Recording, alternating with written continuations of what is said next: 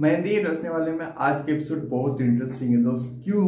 क्योंकि आज के एपिसोड में आप देखोगे राघव फराद को बोलता है, चलो, क्योंकि आज बुलाता है काम के लिए वास्तु शास्त्र के लिए काम हम बात करते हैं। और इसके साथ साथ सबसे बड़ी चीज़ है इसके साथ साथ वो संस्कृत भी जानता है राघव, क्योंकि उसका एक्स गर्लफ्रेंड से वो संस्कृत सिखाता है। अब सोचिए एक्स गर्लफ्रेंड क्यों बता रहा हूँ? देखो, यहाँ पे राघव ड्रिंक करता है तो ग्रीन टी पीता है। अरे मैं तो दारू पी रहा हूँ, लेकिन राघव के जितनी दारू की बोतल है, उसमें ग्रीन टी फ्लेवर डाल चुका है। कौन पल्लवी?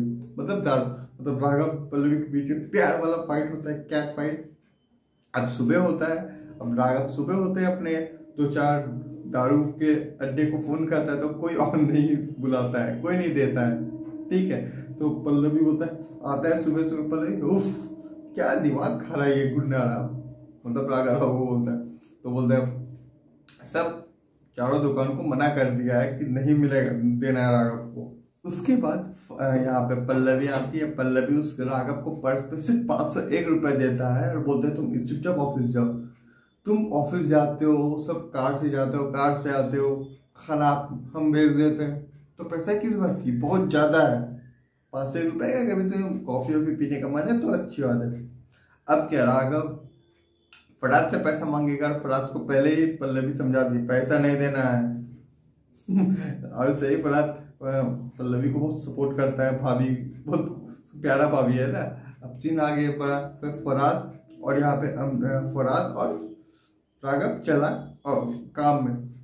ठीक है। जिस वास्तु के लिए उस एक एक बॉस से मिलने वाला था, एक आदमी से मिलते हैं। कैफ़े में और राघव बोलते कैफ़े सब बात बात हो जाती है।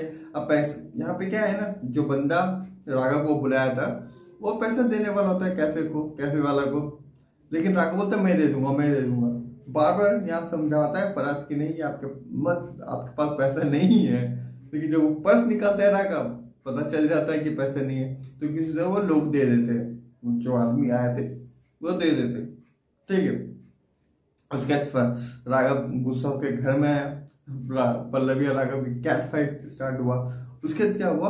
पर राघव गुस्से राघव अपने रूम में गया और दूसरी जगह यहाँ पे कीर्ति का तबीयत खराब है और डॉक्टर आती है। डॉक्टर आके बताती है कि वो प्रेग्नेंट है और यह सुन के, यह सुन लेते पल्लवी।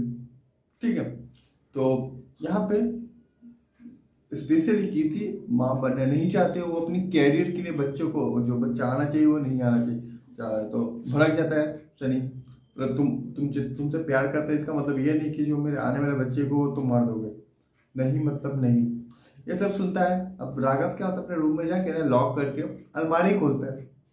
अलमारी खोलते ही उसमें कुछ चीज़ें निकलता है, जिसमें से एक स्पीकर निकलता है, उसमें उसका एक्स गर्लफ्रेंड स्नेह की आवाज़ आती है। कि ये मेरे गुल राघव मेरे राघव मेरे पति बनोगे, मेरे से शादी करोगे, ये सब सुनकर आँखों में आँसू। क्या चीज़ है क्यों अब देखने में इंटरेस्टिंग होगी? यह है मेहंदी रस्म वाले की आज के एपिसोड दोस्त जो बहुत मज़ेदार है, देखना ना भूलें। मिलते हैं अगले वीडियो में। जय हिंद, जय भारत।